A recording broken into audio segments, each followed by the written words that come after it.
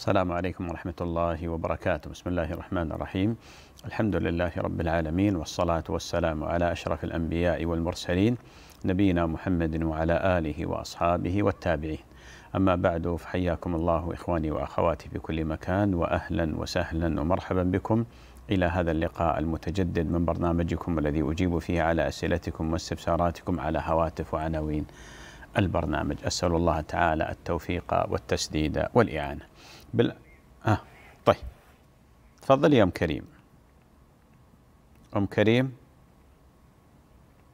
السلام عليكم. عليكم السلام ورحمة الله. شيخ أنا أمس كلمتك عشان الحسد والنمل واللي فهمت منك إنه ما يجوز نقتل النمل. طب إذا النمل يلسع ويسبب حساسية بالجسم إيش أسوي بهاي الحالة؟ إن شاء الله يا أم كريم. أنا أنا رشيت رشيت اليوم عليه خلوا مي ما حرقته. طبعا لأني عارفة إن الحرق حرام. بس إيش أسوي بهاي الحاله اذا النمل يلسع يعني؟ هل هل يجوز قتله ولا شو نسوي؟ إن شاء الله. أبشري إن شاء الله. تفضل يا أم محمد. عليكم السلام ورحمة الله.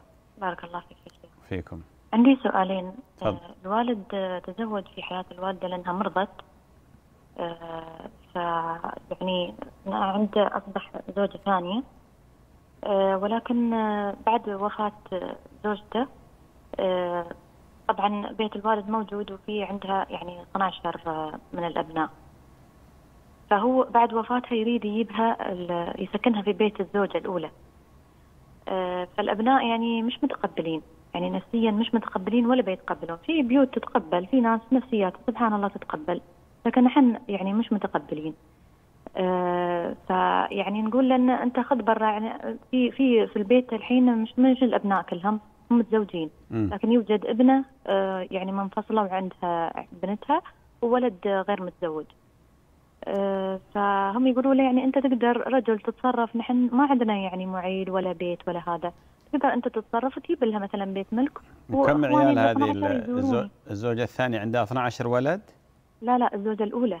الزوجة الأولى 12 ولد. اللي توفت. نعم. توفيت والثانية؟ الثانية موجودة. عندها أولاد؟ عندها بنت الحين يعني. طيب بالنسبة للبيت الآن ما في إلا بنت وحدة؟ بنت واحدة مع بنتها منفصلة والولد مش متزوج. يعني بيت كبير ما في إلا اثنين بس. أيوة. طيب. مع الخدم. والوالد عنده الوالد عنده قدرة على أن يفتح بيت آخر؟ والله يقول أنا متسلف وساكن بالإيجار. أي. فنقول له أنت رجل تقدر تتصرف. نحن ما عندنا يعني. كيف الولد كم عمره أخوك؟ عشرين سنة. أي كبير يعني. نعم. طيب محمد السؤال الثاني.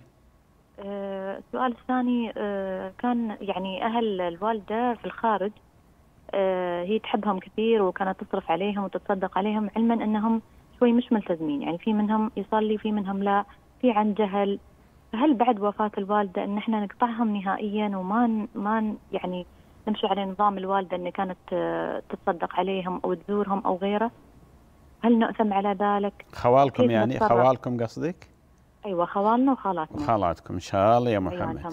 إن شاء الله فالله يخليك يعني تشوف الموضوع اللي هو ال- الوالد قال مثل ما يقول الشيخ عزيز أنا بمشي عليه إن شاء الله الله يحفظه إن شاء الله بإذن الله تسمعين الجواب بعد شوي يا ليت تراعي إن نحن نفسياتنا غصبا عنا ما نقدر نتقبل يعني أنت متزوجة برا ها؟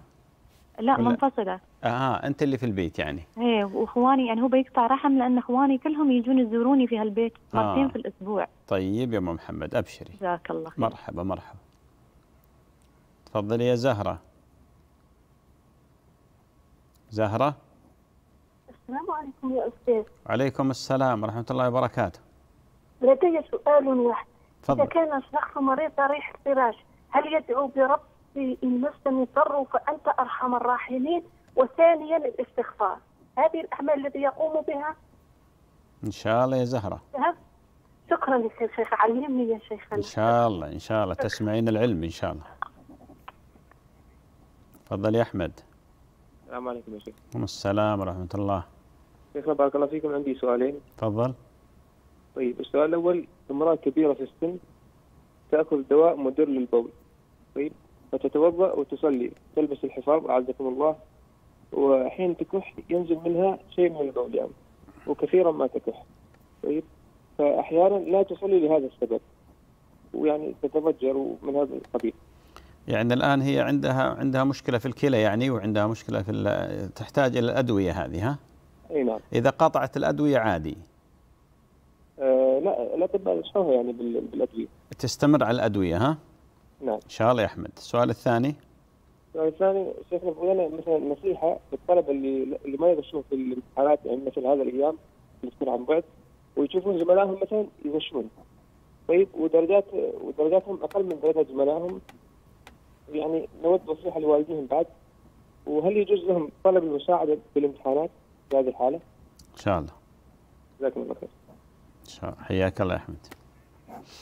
تفضل يا أم سيف. أم سيف من العراق تفضلي. السلام السلام عليكم شيخ. عليكم السلام ورحمة الله. يا شيخ عندي سؤالين. تفضل. السؤال الأول قبل فترة ابني كان عنده في الشغلة فقال إذا صارت هذه الشغلة إلا أذبح. يعني بهال بهالعبارة إلا أذبح يعني يذبح آه، عجول يعني خمس خمس عجول يعني. إي نعم. فهل هذا يعتبر نذر يا شيخ؟ وإذا كان نذر يعني وذبح هل من الممكن يعني يأكل منه هو وعيلته يعني في البيت؟ إن شاء الله يا مسيح هاي بالنسبة للسؤال الأول، والسؤال الثاني ما معنى طواف القدوم؟ هل هو طواف العمرة؟ إن أو شاء الله. الطواف اللي يتق... اللي يتعلق بالحج يعني الإفاضة وغيره، فبس القدوم أريد أعرف في هذا السؤال. أبشر يا مسيف تسمعين الجواب. أشكرك. شكر جزيل يا شيخ. مرحبا أختي. أهلا وسهلا. تفضل يا أم أحمد. أم أحمد من الجزائر. نعم السلام عليكم يا شيخ. وعليكم السلام ورحمة الله وبركاته. ورحمة الله وبركاته بارك الله فيك يا شيخ. تفضل أختي. آه سؤال سألتك زوج خطرات شيخ وأنا السؤال راه محيرني هذا السؤال. أها سؤال تاع قلت لك الأرملة. أيوه. نختصر لك أنا سألتك زوج خطرات. أها. وسؤال ما فهمتش السؤال. ما طيب. فهمتكش مليح السؤال. طيب. دوك هذه أرملة راجلها مات عندها ثلاثة تاع صغار. مهم نختصر لك ما نطولش عليك. أها. عن دوك أنا كنت نعاونها. اي نعاونها ما في سبيل الله ماديا ومعنويا ومازال قلبي راه عندها. اي درك هي على حاجة كي والو قلت جارات تهضر قلت لها ما, ما خطيت منها. خليها ربي تولاها وجيت خارجة كي جيت خارجة هي بلعت بابها صاي عيطت نعيط في التليفون رسلت لها ولادي رسلت احفادي رسلت ما بغاتش تحل الباب. دوك الحاجة أنا ما عندي الشيخ ما عندي حتى اثم في هذا الشيء خاطر أنني باغية نعاونها. لحد الآن وراني باغية نعاونها. أم أحمد. نعم. أنت ال ال الأخت هذه اللي تعاونينها أنت نصحتيها قلتي لها لا تروحين لجارتك؟ لا ما تروحش غير بالتليفون تهضر معاها. قلت لها أنا ما تصنتيلهاش إي في التلفون قلتي لها لا تتكلمين مع جارتك. هي تكلم معاها في التليفون وأنا نروح نطلع لها في وجه ربي. أيوه. كي دخلت عندها قالت لي فلانة شا قالت لي شا قالت لي؟ قلت لها ودي الله ينعس الشيطان خطيك منها ما تعاوديش تدخلي معاها في الموضوع. إي. ورحت طليت عليها في وجه ربي ورحت جيت رحت لداري. يومين بغيت نعيط لها أنا ترسل لي بنتها والو التليفون ثلاث أيام وأنا نعيط التليفون مغلق. طيب. عاوتاني رسلت حفادي عندها قالت شكون؟ قال لها ولد الحاجة. قالت له ما راهاش هنا الباب راه مبلع. عاود رسلت حفيدي آه، الجمعة ولا به بطعامه. أنا ما عندي حتى اثم دوك الحاجة لكن أنت الآن هي هي لا تريد مساعدتك الآن ها؟ نعم نعم شيخ واه تقول خلاص أنا ما أبغى مساعدتك. نعم. وهي أرملة ها؟ ويا أرملة وانايا أنا مانيش قادة. انايا كان صرت نعاونها. إي كنت تساعدينا والآن بسبب يعني اللي حصل مسألة الهاتف مع جارتها هي غضبت عليك. إيه قلت لها أنا قلت لها ما تقولي ما تدخليش معاه في مواضيع بما مشاكل. راكو تاكل قال لك تاكل حق أخيك ميتا. قلت لها كي راكم في ت- تهضري انت وياها في أنا أنا déjà أنا déjà شا قالت لي شا قالت لي شا قالت لي فيك شا قالت لي فيك. أنا قلت معليش. راني مرا كبيرة ومعليش إن شاء الله يا مظلومه أبشر يا خليها من نهار ربي. طيب يا ام احمد وكان كي قال قلت لها نصحتها قلت لها ما ديريش عليها. بلعت بابها عليا. صاي الباب سداته صاي. ما آه. بغاتش المعامله تاعي طيب يا ام احمد طيب. عندك سؤال ثاني؟ فهمتني؟ نعم شيخ فهمتني اي نعم إن شاء الله بإذن الله. أبشر يا أم أحمد. أهلا وسهلا. دكتور. تفضل يا أبو صدام. أبو صدام. أبو صدام من السعودية تفضل. طيب طيب طيب. حاول مرة ثانية أبو صدام. بارك الله فيك. عندي آه، من الأمس مجموعة اتصالات ضاق الوقت عن ال- الإجابة عليها الأخ أبو صالح من أبو ظبي بارك الله فيه يقول أحيانا لما أتحدث مع بعض الأصدقاء يقول أشك إنهم ما يصدقوني فأقول إنه يقول يلعن نفسه والعياذ بالله يقول إن الله يلعن إذا كنت أنا كاذب. يقول ما حكم هذا الكلام؟ أبو صالح بارك الله فيك هذا الكلام محرم ولا يجوز ويجب على الإنسان أن يتوب إلى الله سبحانه وتعالى من لعن نفسه فلا يجوز للمسلم أن يلعن نفسه ولا أن يلعن غيره. ولذلك النبي عليه الصلاة والسلام قال لا تدعوا على أنفسكم ولا على أموالكم ولا على ولا على أولادكم. ويقول النبي عليه الصلاة والسلام ليس المؤمن باللعان ولا بالطعان ولا بالفاحش ولا بالبذيء. ولذلك تدري ما معنى اللعن يا أبو صالح؟ أنت الآن الشخص هذا اللي أنت تسأل عنه أو أو السؤال عنك أنت لما يقول آه، الله يلعنه وكذا يعني يطلب من الله أن يطرده عن رحمته والعياذ بالله. وهل أحد آه، عاقل يطلب من الله أن يطرد عن رحمته؟ يروح النار يعني يطلب من الله أن يدخله النار ويطرد عن رحمته. ولذلك هذا الكلام محرم ولا يجوز. النبي عليه الصلاة والسلام نهى عن لعن البهائم. نهى عن لعن البهائم. كيف يلعن الإنسان الناس؟ وكيف يلعن نفسه؟ كيف يلعن نفسه؟ ولذلك النبي عليه الصلاة والسلام لما كان في الحج كانت امرأة على ناقة فسدت الطريق فحركتها ولعنتها لأن انحرجت المرأة أحرجت فقال النبي صلى الله عليه وسلم لا تصحبنا ناقة ملعونة. يقول الراوي فحملنا عنها المتاع وإنه وإن الناقة لا أحد يتعرض لها. وأيضا النبي عليه الصلاة والسلام سمع رجلا لعن جمله فقال من لاعن جمله أو ناقته؟ قال أنا. فنهاه وزجر وأمره بأن يترك الجمل. قال لا يصحبنا جمل ملعون. ولا تصحبنا ناقة ملعونة. ولا يجوز لعن المعين. ما يجوز الانسان يقول لعنة الله عليك يا فلان. ما يجوز حرام. عندنا اللعن بالعموم. لعنة الله على الكافرين لعنة الله على الظالمين لعنة الله على الفاسقين لعنة الله على المجرمين. جائز. أما لعن فلان بن فلان بعينه لا ما يجوز. حرام. كيف يلعن الإنسان نفسه؟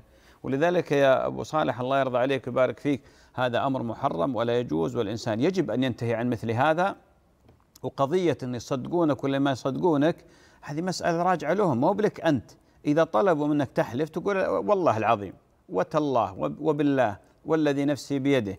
أما واحد يقول إلعن نفسه أعوذ بالله على على سالفة يعني شاك شاك هو شاك صدقوه ولا ما صدقوه؟ عساهم ما صدقوك. لا يصدقونك أبد. تلعن نفسك علشان والله يعني ترضيهم ترضيهم وتقول والله أنا أنا صادق.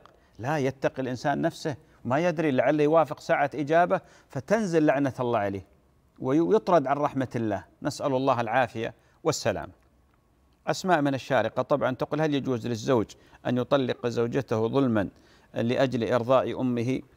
أختي أسماء بارك الله فيك. أنا طبعا استمعت إلى سؤالك ومشكلتك اللي ذكرتيها بالأمس لا شك بأنها مؤلمة وموجعة ومحزنة في الوقت نفسه خاصة وأنك دخلت في التفاصيل. دخلت في التفاصيل وأن الام ما كانت أصلا آه، موافقة في البداية إن ابنها يقترن بك ثم وافقت سنتين كاملتين. تقول لابنها لازم تطلق والولد بين نارين مثل ما يقول ويريد إرضاء أمه. لا شك بأن هذه المسألة من المسائل المحزنة والله والمؤلمة آه، وترتيبها كالتالي لأن هناك أناس آه، يشاهدونني الآن آه، قد يكون تطليق ال- ال- الابن لزوجته إرضاء لأمه واجب. وقد يكون تطليق ال- الإبن لزوجته إرضاء لأمه محرم محرم. ولذلك ترتيب المسألة كالتالي.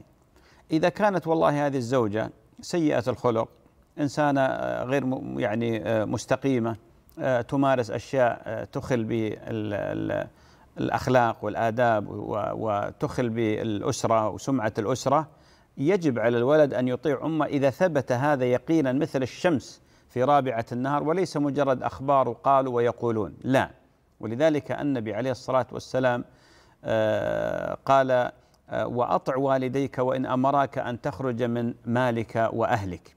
وهذا هو الذي يحمل عليه على أن يكون هناك سبب مقنع على أن المرأة لا تصلح لهذا الإبن. ولذلك النبي عليه الصلاة والسلام حينما آه، حينما أمر عمر آه، ابنه أن يطلق زوجته أخبر النبي عليه الصلاة والسلام فقال أطع أباك.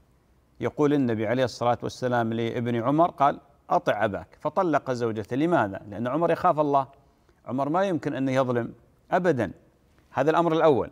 الأمر الثاني أن تكون الأم لا ما في سبب مقنع لكن والله تغار من هذه الزوجة.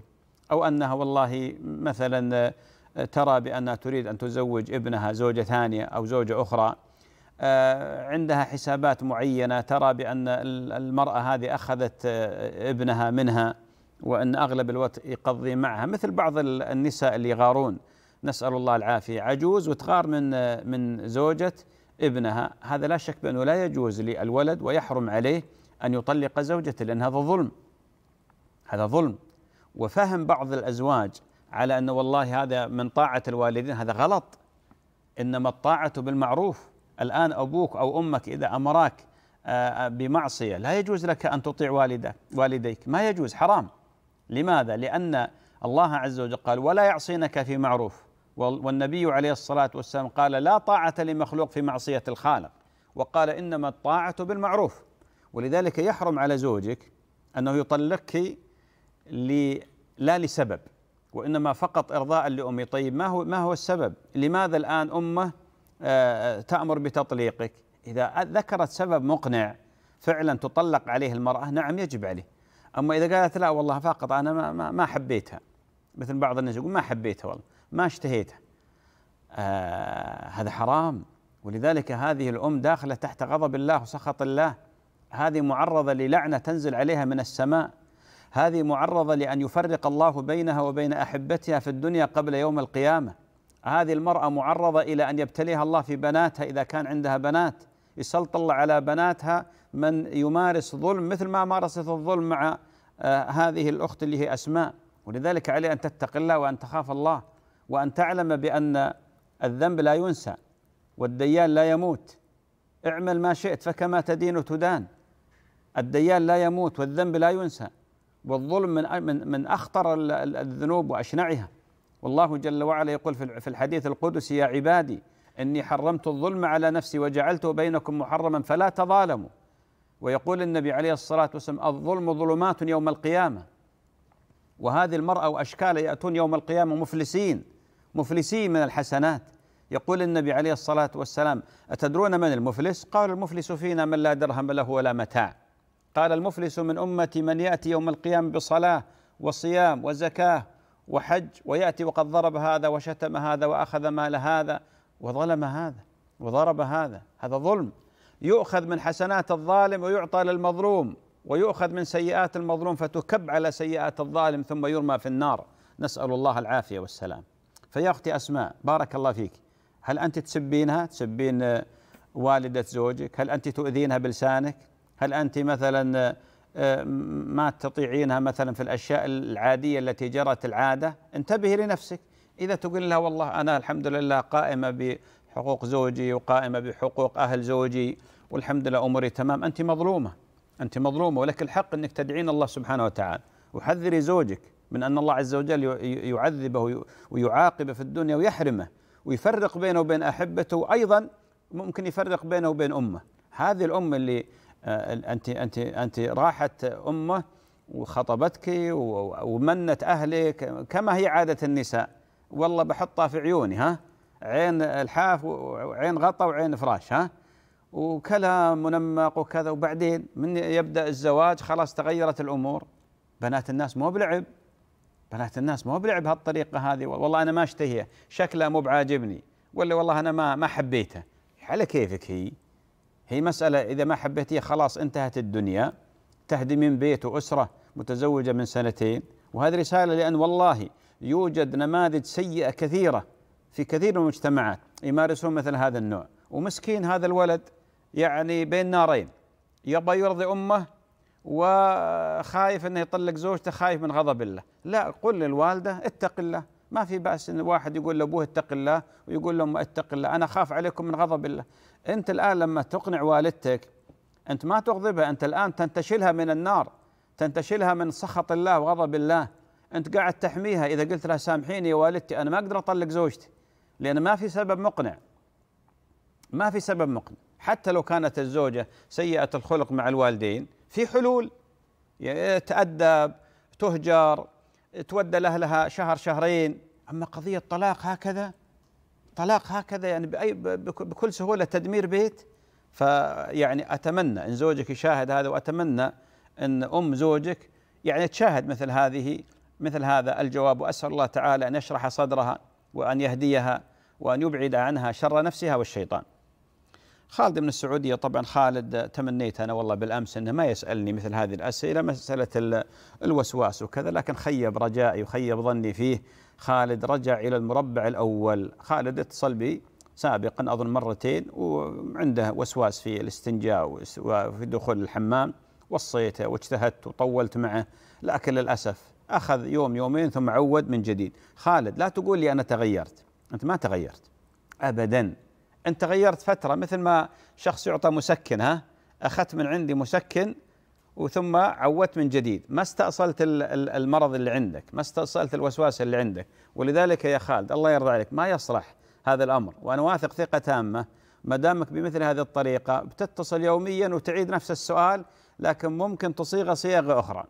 يعني أنت في الأولى الثياب والكنب اللي جلست عليه الآن عودت بشغلة ثانية. ما يصلح يا خالد. اللي أنت تسويه حقيقة مخالف للشرع والعقل. أما الشرع فأنت الآن واقع في أمر يجب عليك أن تتوب إلى الله عز وجل منه.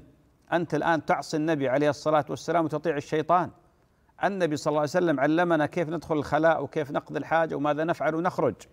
الشيطان لا الشيطان آه، آه، يحاول أن يبقيك في هذه الدائرة. يحاول أن يجعلك سجين الوسواس وأسير القلق هذا اللي أنت قاعد تعيشه. أنت إنسان الآن غير مرتاح. أنا أعلم هذا الشيء. أنا ما أعرفك ولا شفتك. لكن أنا في داخلي لأني أعرف وتعاملت مع الموسوسين. أنت حزين وغير مرتاح وقلق. ما تعيش حياة سوية مع الناس. أنت أكلك وشربك ونومك وضحكتك كلها وراءها تخفي وراءها حزن تخفي وراءها ألم بسبب أنك طعت الشيطان.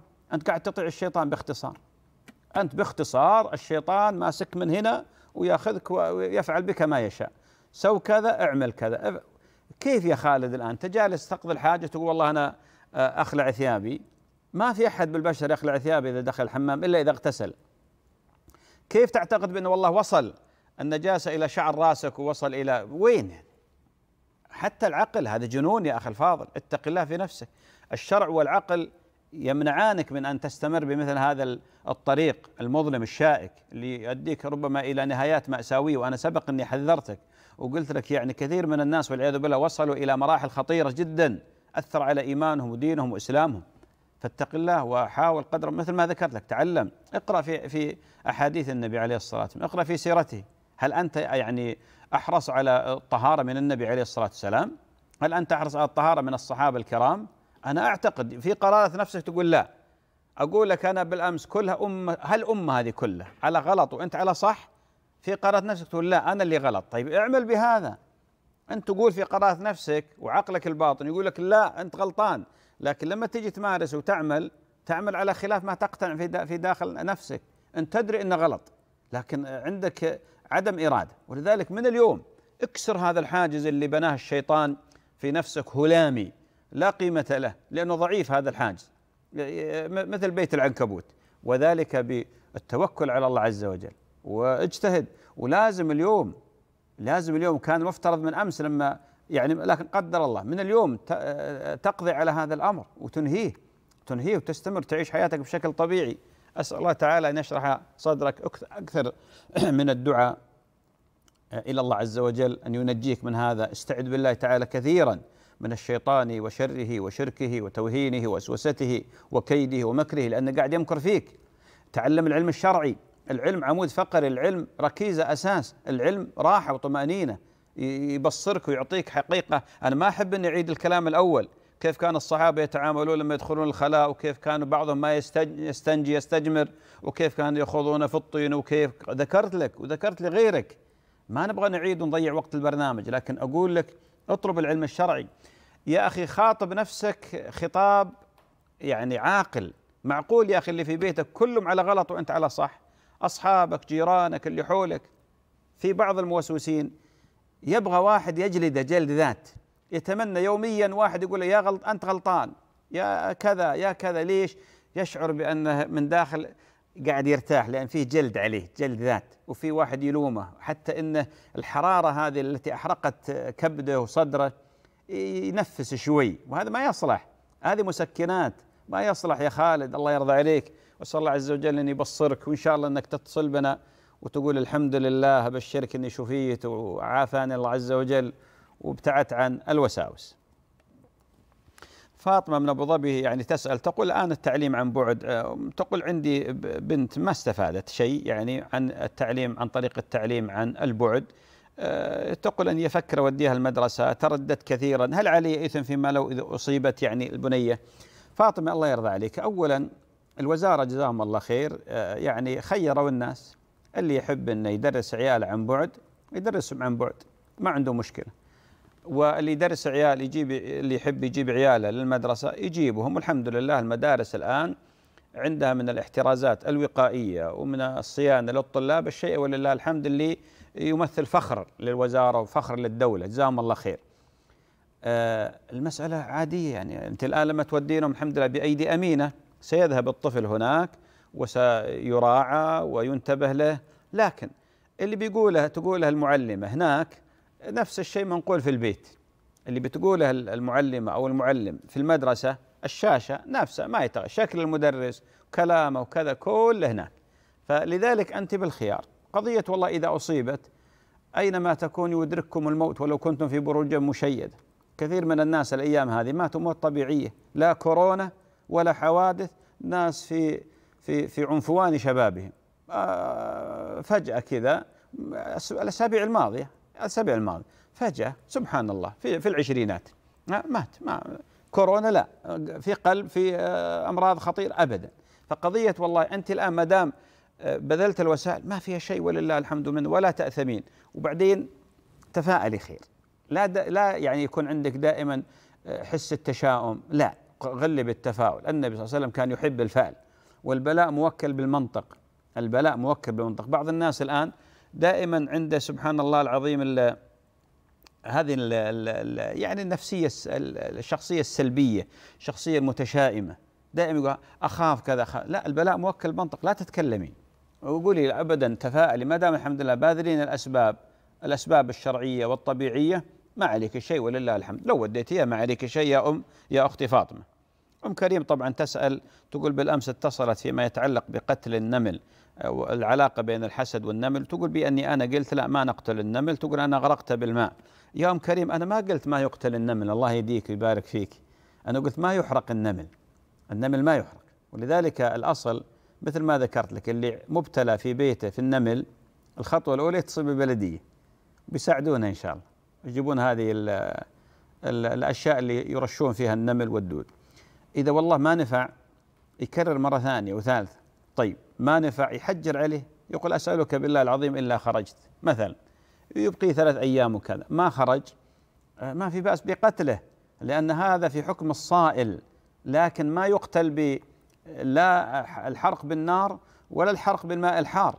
وإنما يقتل بتغريقه مثلا برشه ببعض المبيدات. ما في بأس الله يرضى عليك ويبارك فيك. فأنت يظهر اختطفتي آه، جملة وبعدين بنيت عليه. لا أنا ما أقول أنا أقول يقتل لكن بعد مراحل. بعد مراحل. بارك الله فيك. أم محمد من الشارقة تقول الوالد تزوج على حياة آه، والدتها زوجة ثانية والزوجة الأولى كان عندها 12 ولد توفيت رحمة الله عليها. تقول الوالد الآن حاب أنه يجيب الزوجة الثانية اللي عندها بنت يسكنها في بيت الأولى. تقول يعني في البيت يعني آه، أم محمد هي وبنتها آه، كونها يعني منفصلة عن زوجها وفي ولد عمره 20 سنة. تقول الأولاد احتجوا وقالوا بأنه لا ما ما نرغب أنك تأتي بهذه الزوجة عندنا ويعني غير متقبلينها. والوالد يقول لا أنا أبغى أجيبها وأنا ما عندي قدرة على ذلك. أم محمد بارك الله فيك. يعني مثل هذه القضايا لا شك بأنها حساسة جدا. لماذا؟ لأن تتعلق ببر الوالد.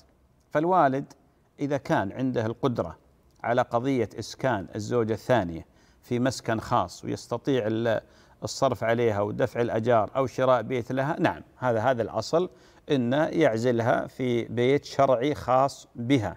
وهذا فيه مصالح كثيرة جدا لهذه المرأة ولأولاد اللي في البيت الثاني. لكن إذا كان الوالد الآن إذا استأجر أو اشترى سيدخل في ديون أو هو عنده ديون وسيحمل نفسه ما لا يطيق فإن الواجب عليكم أن تتحملوا الوالد وأن تسكنوها معكم في البيت حتى لو يعني كانت زوجة أب يعني ما المشكلة في ذلك؟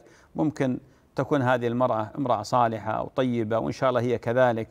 وأيضا تنسجمون معها يعني قد يعني بعض الناس للأسف الشديد أختي أم محمد في فكرة يعني زوجة الأب والتشويه اللي اللي مورس عليها من قبل يعني وسائل شتى. غير صحيح إذا وجدت زوجة أب سيئة فإنه لا يعني بأن جميع زوجات الأب سيئات. وأنا أعرف شخصيا والله زوجات بعض الآباء أفضل من أمهات الأولاد لهم.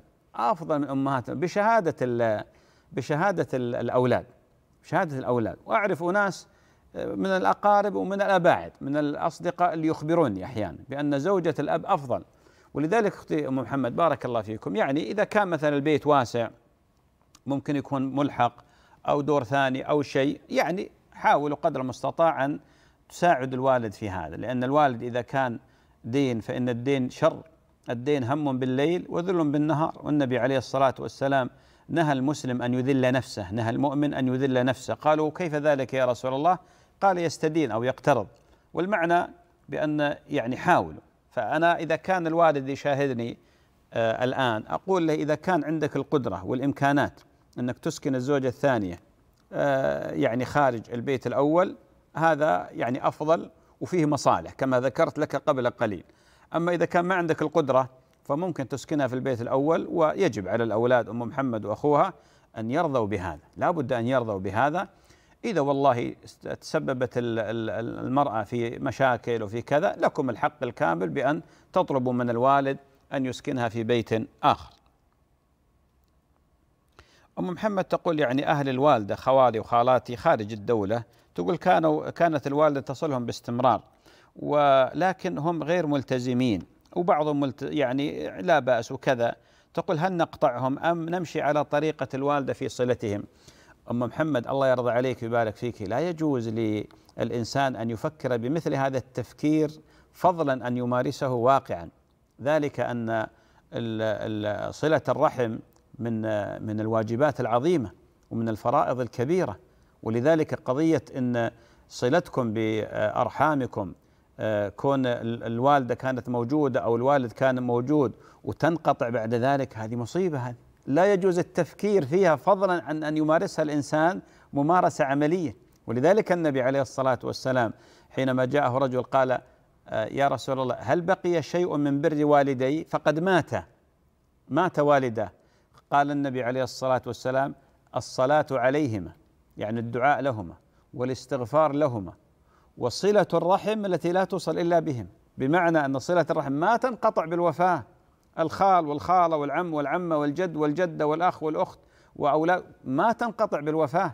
ولذلك لا يجوز للإنسان أن يفكر بمثل هذا التفكير يا أخت الفاضلة. الواجب عليكم أن تصلوا وبعدين في مسألة صلة الرحم لا يجوز للإنسان أن يقطعها لكون والله أحد الأرحام عنده فسق. لا يجوز. مساعدتهم السؤال عنهم حتى لو كانوا فساق حتى لو كانوا مقصرين حتى لو كان بالعكس فرصة لك وأمثالك تتواصلون معهم. ومع الهدية ومع الصدقة ومع المشاركات في الآلام والآمال في الأتراح والأفراح. النصيحة النصيحة لعل الله عز وجل يفتح على قلوب يمكن يعيشون في بيئة موبوءة مريضة بالجهل. فأنت وإخوانك يعني تجعلون من من الصلة تنوون بهذا نية إصلاحهم. فبارك الله فيك صليهم. وهذا حق للوالدة عليك الآن. أوكد من حقها عليك وهي حية. الآن حق الوالدة أعظم أنك تصلين أخوالك وخالاتك. بارك الله فيك. تفضل. أبو؟ تفضل يا أبو محمد. أبو محمد يا أخي. تفضل يا أبو محمد. السلام عليكم يا شيخنا. عليكم السلام ورحمة الله وبركاته. واسال الله يمد في عمرك في صحة وعافية وطاعة. آمين. جزاك الله خير. يا شيخ أنا أنا عندي يعني يمكن تقريبا أربعة أو خمسة أسئلة يعني تفضل يا أخي. طول بالك علي. الله يجزاك خير. يلا يلا. بالنسبة لصلاة المسافر أنا طبعا آه، سافرت من منطقة لمنطقة ومقيم فيها يعني إقامة غير معلومة يعني ممكن شهر ممكن شهرين أو ثلاثة. اي ففيه يعني أقوال إني ممكن إني أصلي يعني أقصر وأجمع وإني أقصر كل صلاة. إن شاء الله. فابغى منك الله يحفظك أبشر أبو محمد. واضح. السؤال الثاني. ال- السؤال الثاني ان أنا نويت أسافر من المنطقة اللي أنا فيها إلى منطقة جدة الغربية. نعم. وصليت الظهر في البيت ومشيت في الطريق وحان صلاة العصر. فقصرت صلاة العصر هل هذا صحيح؟ إن شاء الله. ال- وهل لي يعني إني أصلي مثلا ممكن إني أجمع الصلاتين وأنا قبل ما أمشي من البيت؟ إن شاء الله. الشيء السؤال الثالث يا شيخنا جزاك الله خير. أنا عرض لي عارض صحي ولله الحمد. وطبعا صار في صعوبة بالنسبة لي للمشي. نعم. إني أنتقل مثلا أروح أغسل أكرمك الله وأرجع ولا شيء ف يعني اجتهدت ما أدري لعلي أكون أصبت أو أخطأت فجمعت بين الصلاتين. يعني صلاة الظهر والعصر والمغرب والعشاء. هذا وأنت في البيت؟ وأنا في البيت نعم جزاك الله خير. جمع بقصر ولا من دون قصر؟ لا لا جمع بدون قصر جمع أي. ب- بال إن شاء الله يا محمد واضح. ال- الس- ال- السؤال الخامس أنا ارسلته لك عن طريق الواتساب ولكن اعذرك لكثرة الرسائل اللي تجيك. الله يجزاك إن خير شاء الله بشوفه بإذن لا، الله ويجي دوره إن شاء الله. اذا إذا ولا عرضه عليك الآن يا سم. سم تفضل. الله يحفظك. طلب مني إني أزكي في حصر ورد. إي. وطبعا الورثة آه، ال- ال- الزوجة و- و- وابن وبنتين معه. وعندهم أبناء من ابن متوفي في حياة أبوه رحمة الله عليهم جميعا. نعم. ولا ذكروا في في حصر الورد. أي نعم. وزكيت أنا الشهود يعني أعرف إنهم إنهم عدول يعني. فما أدري هل أنا أصبت أو أخطأت. يعني. كان كان كانت طلب منك أن تزكي الشهود ها؟ نعم طلب مني إني أزكي الشهود نعم. إن شاء الله يا مع العلم الشهود هذول أقارب للوارث وعلى علم بكل شيء. إي نعم. هو تعرف العمل. العمل في المحاكم السعودية على أن ما في شيء اسمه وصية واجبة ولذلك اللي اللي اللي شهدوا فيه صحيح يعني ابن الابن له الوصية الجائزة وليس الواجبة. فإن شاء الله أفصل لك بإذن الله إذا وصل آه، يعني إذا وصل الدور لك يا أبو محمد. الله يطول مرحبا ومسهلا. حياك. الله. جزاك الله خير. السلام عليكم. تفضل يا مسيف. السلام عليكم. عليكم السلام ورحمة الله. أنا عندي سؤالين يا شيخ. تفضل أختي. السؤال الأول إنه أنا آه، صار عندي ظرف وما قدرت إني أصلي لمدة خمس أيام. اي ولما زوجي عرف خلاني أحلف على كتاب الله إني أقضي هدول الخمس أيام بنفس اليوم من اليوم إني أبتدي أصلي. اي وبس مو عارفة إنه كيف أصليهم؟ أصليهم مرة واحدة ولا أصليهم يعني مع كل كل يوم أزيد آه، صلاة اللي راحت علي. أختي أم سيف أنت تقولين صار عندك يعني ظرف مش شرعي يعني مش دورة ولا شيء دورة لا بعد الشهريه الدورة بعد الدورة قطعت آه، قطعت متعمدة يعني ولا عندك ظرف صحي ولا؟ لا والله متعمدة. آه، تركتي خمسة أيام. مم. زوجك حلفك بأنك تقضينها مرة واحدة في نفس اليوم. حلفني على كتاب الله يعني. أيوه. وحكى لي رح يعني رح تقضيهم كلهم. إي بنفس اليوم. أيوه. إي حقت الخمسة أيام. تمام. طيب سويتيها ولا لا؟ لا والله. ليش؟ لأن سالت سألت حكوا لي إنه أقضيها مع كل فرد. وزوجك يدري؟ هي خبرته. طيب. أعطينا السؤال الثاني. السؤال الثاني إنه أنا خالتي ورثت عن امها ذهب. وخلتها أمانة عند عند أخوها. إيه. وبعد يومين لما قال بعد يعني فترة راحت ثلاث سنوات أو أكثر وحكت له إنه يعني رجع لي الذهب. فزوجته حكت لها إنه ضاع الذهب مو موجود. امم شو حكمه يا شيخ؟ بس راح أغلبك إنه أنا زوجي كثير بضايقني بموضوع الصلاة. يعني بتصير مشاكل كثير كبيرة عليها إنه مثلا اترك اللي في إيدك وروح صلي وأنا بكون بعمل أشياء كثير ضرورية وأنا أكون راح أصلي يعني كثير يعني نص المشاكل بسبب هاي الأمور وكثير ضاغط حاله في هذا الموضوع إيه جزاه الله خير الله يكثر أمثاله بس عاد يعني آمين، شوي يحتاج آمين. أسلوب ها بس فقط أيوة. أسلوب. إحنا نتمنى وجود هؤلاء الأزواج اللي يحرصون على زوجاتهم وينبهونهم هذه نعمة أنت عندك رجل ذهب حافظي عليه بس أنا أوجهه إن شاء الله توجيه يعني يعني يتلطف في قضية أمرك بالصلاة. طيب يا ام سيف تسمعين الجواب؟ بإذن الله. نعم. خلصنا؟ طيب طيب. آه، أرجع إلى الأسئلة عندي طيب. زهرة بارك الله فيها تسأل تقول بالنسبة للشخص إذا كان طريح الفراش مريض يعني هل يكتفي بقول ربي إني مسني الضر وأيضا الاستغفار. زهرة بارك الله فيك. بالنسبة للإنسان إذا مرض يدعو الله سبحانه وتعالى وأيضا يأتي بالتعويذات الشرعية منها أن يضع يده على محل الألم. إذا كان في الرأس ولا في الصدر ولا في اليد ولا في الرجل يقول بسم الله الذي لا يضر مع اسمه شيء في الأرض ولا في السماء وهو السميع البصير. تكتبين يا زهرة؟ اكتبي. بسم الله الذي لا يضر مع اسمه شيء في الأرض ولا في السماء وهو السميع العليم. أيضا أعوذ بكلمات الله التامات من شر ما خلق. أيضا رب الناس أذهب الباس اشفي أنت الشافي لا شفاء إلا شفاؤك شفاء لا يغادر سقما رب الناس أذهب الباس اشفي أنت الشافي لا شفاء إلا شفاؤك شفاء لا يغادر سقما أيضا اللي يزورك أو أحد من أهلك يقول أسأل الله العظيم رب العرش العظيم أن يشفيك. يقول هذا سبع مرات لك. أسأل الله العظيم رب العرش العظيم أن يشفيك. وتقولين ربي ما في بأس تقول ربي إني مسني الضر. ها؟ وأنت أرحم الراحمين. اللهم اشفني اللهم عافني. آه، كما قال آه، الله عز وجل قال وإذا مرضت فهو يشفين. أسأل الله تعالى أن يمن عليك بالشفاء. أحمد بن أبو ظبي يقول آه، آه، امرأة كبيرة في السن آه، وصف لها دواء مدر للبول. تقول يعني يقول عفوا إذا كحت أو شيء يعني آه، ينزل منها قطرات من البول. وبعدين يقول بدأت يعني تترك الصلاة بسبب هذا الأمر. يعني لأن مثل نزول هذه القطرات يجعلها يقول لا تصلي. أحمد بارك الله فيك. أولا بالنسبة لهذه المرأة ال- الكبيرة في السن يجب عليها أن تحرص على الصلاة في هذه الفترة والمرحلة السنية أكثر من أي وقت سابق. يجب عليه أن تحرص على الصلاة وأن تكون أولى اهتماماتها وأولى أولوياتها وشغلها الشاغل وقلقها السائر الصلاة. لماذا؟ لأن امرأة كبيرة. والإنسان اللي, اللي يكبر في السن ويذلف إلى عمر متأخر يكون ما بقي أقل مما ذهب. الأمر الثاني بالنسبة للمرأة هذه إذا تناولت الدواء وعفوا إذا استنجت مثلا وتوضأت وثم مثلا صدر منها كحة أو شيء ونزل ما عليها شيء ولله الحمد معذورة. أهم شيء أن تتحفظ بحيث لا ينزل على بدنها أو ثيابها أو محل صلاتها شيء لأن معذورة هي ليس باختيارها ليس باختياره.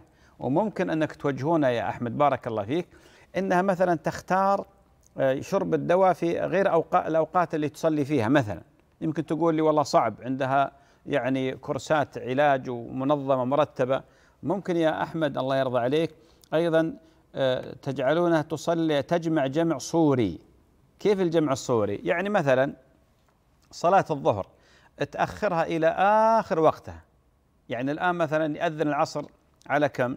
يأذن مثلا آه، ثلاثة عندنا وخمسة وعشرين أو سبعة وعشرين. قبل أذان العصر بعشر دقائق تصلي الظهر لأن في وقتها هذا ما زال وقت الظهر. ويدخل عليه وقت العصر وتصلي العصر مباشرة بعد الأذان أو مع الأذان. والحمد لله تكون صلت الظهر في وقتها في آخر وقتها وصلت العصر في وقتها في أول وقتها. وتسلم من قضية التعب. كذلك المغرب والعشاء. تأخر المغرب. قبل أذان العشاء بعشر دقائق تصلي المغرب أو بربع ساعة. وتنتظر يدخل عليها وقت العشاء والحمد لله تصلي العشاء. واعتقد بأنها تسلم ولله الحمد وتصلي بعدها الوتر وتكون الحمد لله قص. أما تترك الصلاة لأجل والله أن كذا لا ما يجوز حرام. الله عز وجل يقول, يقول جل وعلا فاتقوا الله ما استطعتم. قل جل وعلا لا يكلف الله نفسا إلا وسعها. ديننا دين يسر. والله عز وجل ما يأمر بما فيه مشقة. ال ال ال القرآن والسنة ينتشلان الإنسان من المشقة إلى اليسر والسماحة ولله الحمد والمنة. أحمد يريد نصيحة للطلبة اللي ما يغشون في الامتحانات وأيضا لوالديهم. يقول يعني هم يشاهدون بعض الطلبة اللي يغشون يأخذون درجات. للأسف يعني آه بغير وجه حق ويريد يعني آه توجيه لهم نصيحة لأوليائهم. وهل إذا طلب المساعدة أحمد بارك الله فيك أنا والله تكلمت على هذه المسألة كثيرا وبينت بأنه لا يجوز ويحرم الغش في الامتحانات ولا يجوز للوالدين أو أحدهما أن يعني يساعدان الولد في هذا الأمر المحرم. ولذلك هذه المسألة خطيرة ولا يجوز للولد أن يطلب المساعدة ما دام أن قوانين وزارة التعليم تمنع مثل هذا الشيء. وهذا الشيء أعتقد ما يحتاج إلى دليل ولا إلى برهان. ولذلك هذا ابتلاء. هذا ابتلاء. فلا بد على الطالب أن يجاهد نفسه ويجتهد ويجعل من هذا الأمر محفز له إلى الحرص والقراءة والتحصيل. وكذلك على الوالدين أن ينتبه إلى هذا. المسألة مو هنا. المسألة بعدين. إذا بدأ كبر وأخذ شهادة وبدأ يتوظف هنا تأتي المصيبة. اللي يكسبها حلال ولا حرام؟